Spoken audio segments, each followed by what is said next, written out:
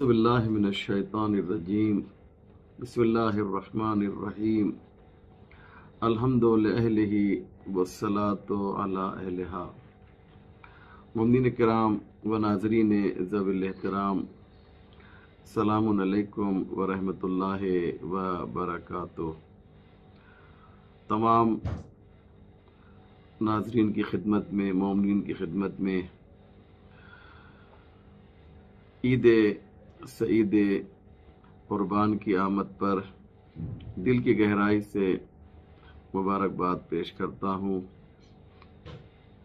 ईद कुर्बान, जिसे ईद अजहा कहा जाता है, हकीकत में ये वो ईद है जो हमें अल्लाह से सच्ची मोहब्बत करने की दावत देती है। जनाब इब्राहिम सलाम ने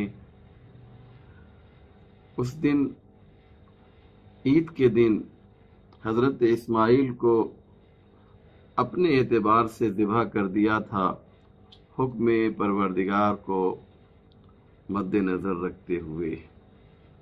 और गोया ये ऐलान किया था कि जब अल्लाह और औलाद के दरमियान में से किसी एक को लेना हो तो परवरदिगार को लेना होगा और औलाद को छोड़ना होगा।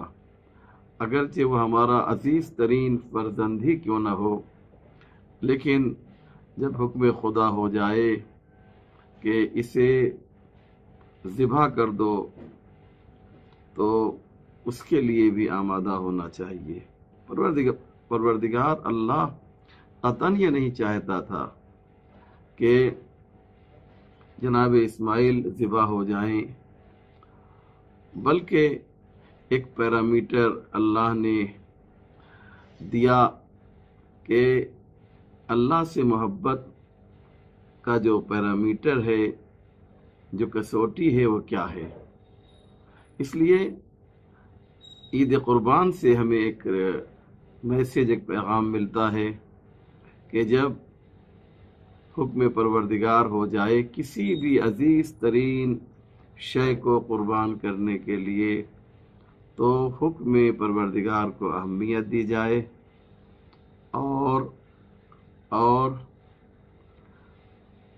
जो अज़ीज़ तरीन शय है उसे नज़रअंदाज कर दिया जाए। हर साल ईद कुर्बान आएगी। हर साल ईद अजहा आएगी और हमें जनाब इब्राहिम के उस जज्बे की जो मोहब्बत परवरदिगार है, उसे याद दिलाएगी। बकरा कुर्बान करना ये हकीकत नहीं है, बल्कि एक हकीकत को ताज़ा करने के लिए बकरे को कुर्बान किया जाता है। असल कुर्बानी बकरे की नहीं है, बल्कि ईद के दिन, बकर ईद के दिन असल में हमें अल्लाह की जानब से ये मैसेज और पैगाम दिया गया कि तुम बकरा कुर्बान करके इब्राहिम की याद मनाओ और उन्हें सैल्यूट करो, उनको सलाम करो। कि वो किस तरह से अल्लाह से मोहब्बत करते थे। क्या तुम में भी वो जज्बा है कि हुक्म परवरदिगार के सामने अपने हाथों से अपने फर्जंद के गले पर छुरी चला दो? अगर अल्लाह तुम्हें यह हुक्म दे भी दे तो क्या तुम अपने फर्जंद के गले पर छुरी चला सकते हो? क्योंकि हुक्म खुदा है। लिहाजा अब ये समझो कि तुम तो नहीं कर पाओगे। तो अब ये सोचो कि इब्राहिम अल्लाह से कितनी मोहब्बत करते थे, कितना प्यार करते थे, तभी तो उनको खलीलुल्लाह कहा गया, अल्लाह का दोस्त कहा गया।